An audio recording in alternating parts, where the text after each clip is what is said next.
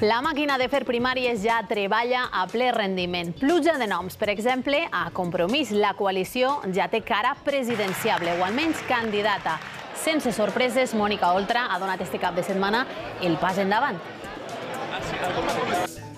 Si doneu suport, la vostra força també és la meua.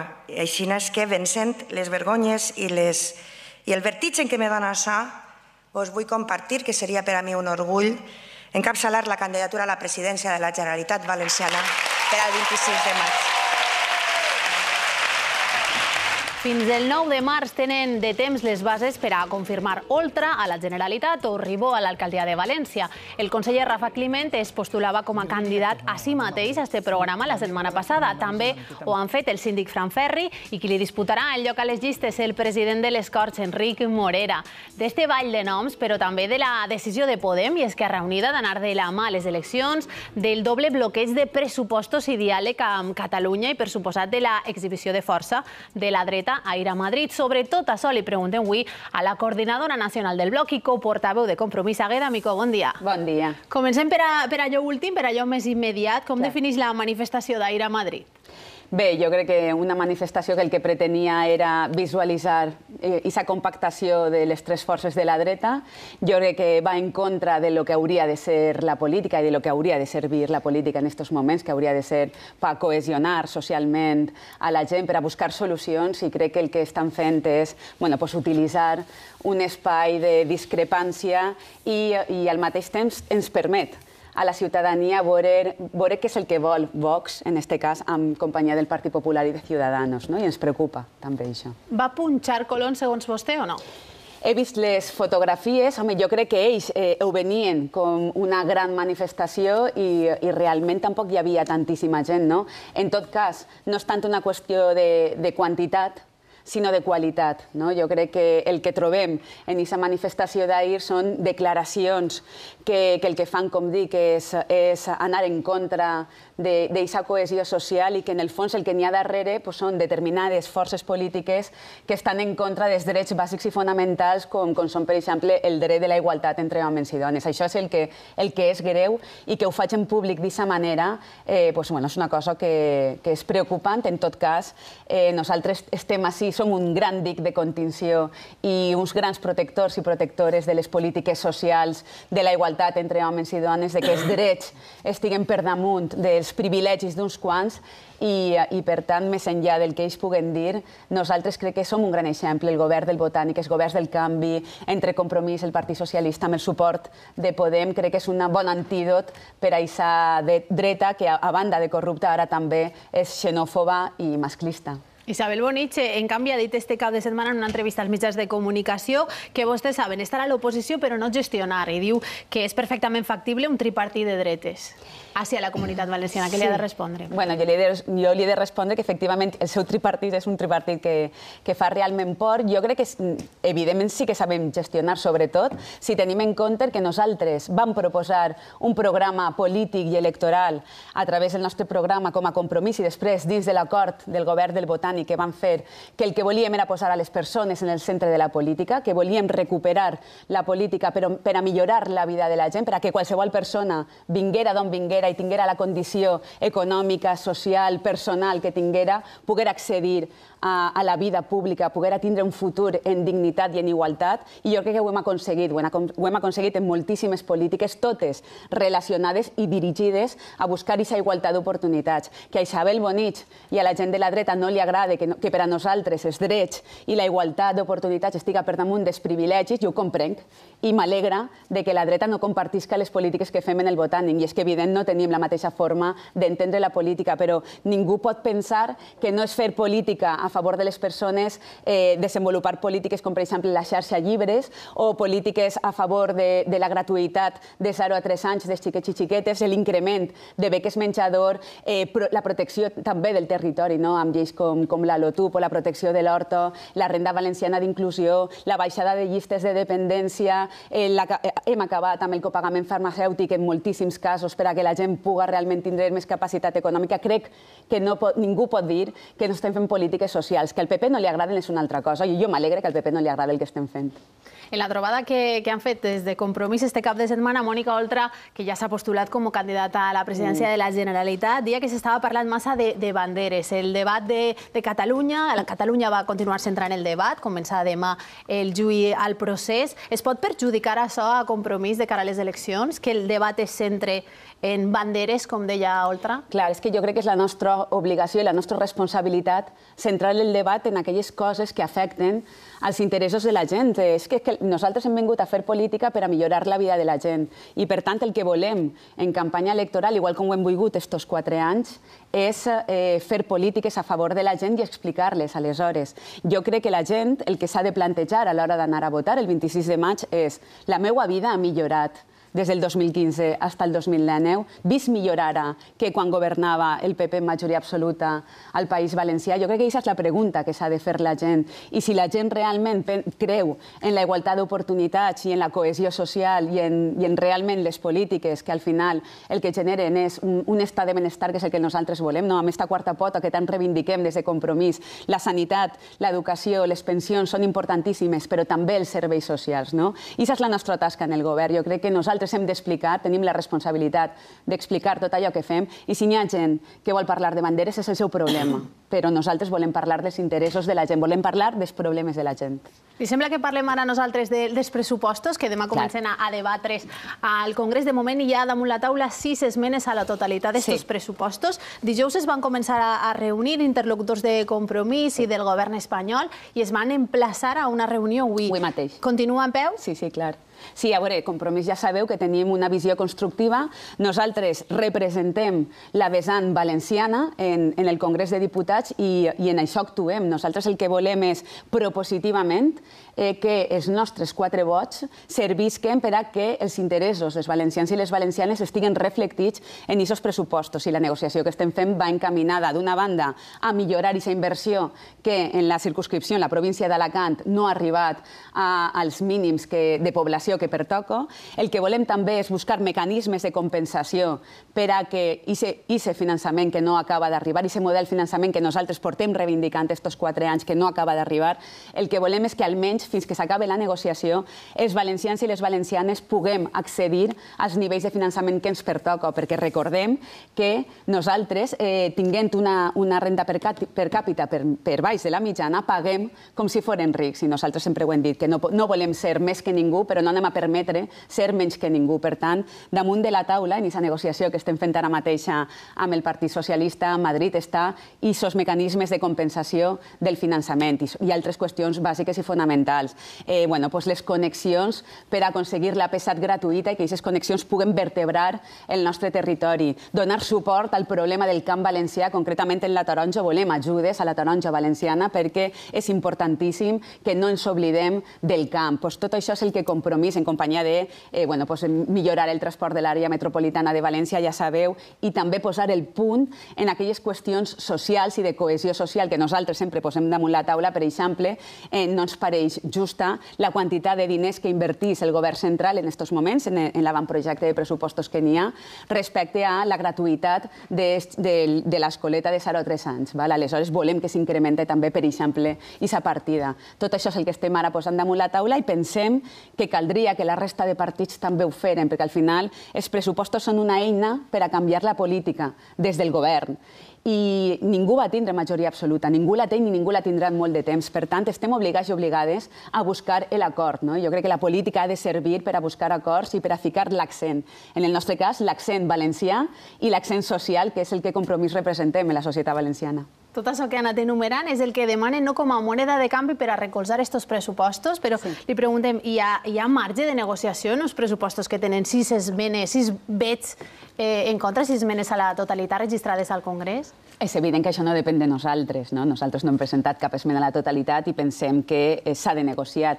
Depèn també de la capacitat de negociació que tinga en aquests moments el govern de Pedro Sánchez amb la resta de partits no? que han posat damunt la taula una esmena a la totalitat. Jo reconec que és complexe, però bueno, crec que no és impossible no? que, que s'assenten a negociar. De fet, jo crec que entre avui i demà i la negociació estarà damunt la taula. Recularan? Jo crec que sí, jo crec que, que ho intentaran almenys. I eh, en tot cas nosaltres tenim la mà estesa i sempre i quan es negoci en clau valenciana, els quatre vots de compromís seran vots a favor d'aquest canvi que ha hagut I com van aquestes negociacions? Es va reunir dijous? Ho es tornen a reunir? Sí, bé, va bé, va bé. Sí, jo crec que ells són conscients de que efectivament eh, nosaltres representem, eh, representem una part de, de la societat valenciana i que evidentment anàvem a posar damunt la taula reivindicacions concretes que afecten al nostre territori com no podia ser d'una altra manera. Té molt de trellat allò que demanem i, eh, i pensem que si realment volen que aquests pressupostos tirin avant no és tan complicat que accepten les mesures concretes que vos he detallat i que en realitat sí que n'hi haurà, sí que produiran un canvi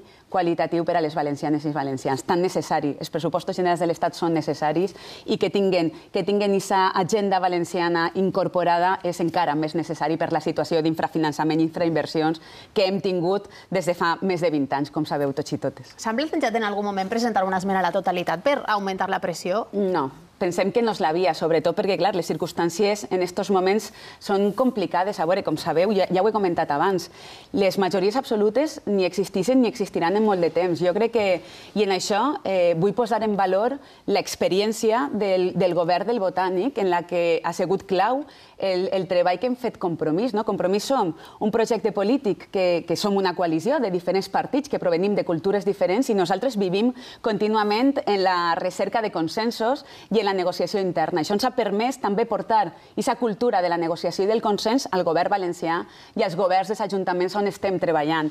Aleshores, això fa que, siga, que, que per a nosaltres la política sigui una cosa proactiva. Som conscients de que això ha d'eixir entre totes i tots i que necessitem consensos i el que volem també també, d'alguna forma, és que aquesta experiència, que ha sigut una experiència positiva per a les valencianes i els valencians, puga també reproduir-se en el govern de Madrid, en el Congrés de Diputats i en la resta d'espais. Per això nosaltres fem una crida al sentit comú i fem una crida a la negociació, perquè és important posar damunt de taula, a més, allò que ens unís que allò que ens separa. Sobretot quan a l'altra banda no tro trobem i se tripartit de dretes que, que a banda de voler aconseguir el govern d'una forma eh, amb cortina de fum, com estem veient, no? eh, al final també el que ens ve, el que es pot esperar són polítiques xenòfobes, polítiques en contra de, de la igualtat entre els homes i les dones, polítiques masclistes i per damunt de tot pensem que la garantia dels drets fonamentals ha, ha, ha de passar per l'acord, pel consens i per la continuïtat d'estos governs del canvi, dels quals el govern del Botànic, del que Compromís formen part, són un gran exemple. Se'ls ha acusat eh, de fer una pressió tèbia, tal volta, des de dins del, del Consell per tal d'aconseguir aquesta reforma del sistema de finançament. En les reflexions ara de final de legislatura ho consideren així? Han pressionat suficientment? Jo crec que hem pressionat moltíssim. De fet, estos últims quatre anys s'ha parlat més d'agenda valenciana, s'ha parlat més de problemes d'infrafinançament, de deute històric que mai. I el fet diferencial en la política valenciana en aquests moments és compromís. Vull dir, aleshores, tot allò que es parla, la manifestació que van fer el, el, el 20 de novembre del 2017, en el que la societat civil, els empresaris, els sindicats, els partits polítics vam eixir al carrer, tot el que està passant, eh, en bona part, eh, no, no va, vaig a ser humil, evidentment no sols per, per compromís, però sí que, com, sí que comportem un fet diferencial específic i el nostre empoderament estos anys també és l'empoderament de l'agenda política valenciana, perquè nosaltres parlem en clau valenciana, no només al govern, no, no només al govern valencià i als ajuntaments, sinó al Congrés de, de Diputats, amb la veu de Joan Baldoví, fins i tot a Europa, amb Jordi Sebastià. Som un projecte que hem crescut, que, que estem molt ben cohesionats i que estem representant el valencianisme en totes les institucions possibles i aleshores jo crec que això provoca que l'agenda valenciana estigui en el centre de la política actual. Si anem a eleccions generals en guany, reeditarien el pacte a la valenciana? Uf, pues eh, jo crec que és, és pronter no, per a parlar del tema. Eh, la veritat és si que... no hi els pressupostos, podem anar a eleccions. Podríem anar a eleccions. S'ha parlat del superdiumenge. Sí. Nosaltres estem, i sempre ho hem dit, per consolidar el nostre projecte i la, i la nostra marca. Jo crec que feia falta en la societat valenciana eh, l'empoderament i la consolidació d'un projecte valencianista, perquè al final eh, necessitem i sabeu a, a Madrid i jo crec que, que Joan Baldoví eh, siga el polític millor valorat de tot l'Estat, pues jo crec que ens congratula i té molt a veure en la forma que tenim la gent de compromís de fer política. Jo crec que compromís ara mateixa som útils, estem ben vistos en tot l'estat espanyol. De fet, ara per a, per a, per a la contesa electoral europea hi ha molts partits de, de tot l'estat espanyol que estan buscant-nos per a vindre en companyia nostra a les eleccions europees, cosa que ens agrada molt, perquè ens agrada molt com funcionem i el que representem, i per tant jo crec que Compromís estem en disposició de, de presentar-se a les eleccions generals eh, amb la nostra pròpia marca. En tot cas, és una cosa que caldria que parlarem dins de la coalició. Quedem-nos en les eleccions que ja tenen data fixada, 26 de maig, autonòmiques i municipals. Respiren més alleugerits ara que saben que Podem i Esquerra Unida aniran de la mà? És una bona notícia. És una bona notícia perquè ells jo crec que sumen han sumat també en la resta de, de l'estat espanyol i, evidentment, al País Valencià tenim eixa barrera electoral del 5%, que malgrat que nosaltres hem impulsat la llei electoral valenciana per a canviar-la, no ha pogut ser.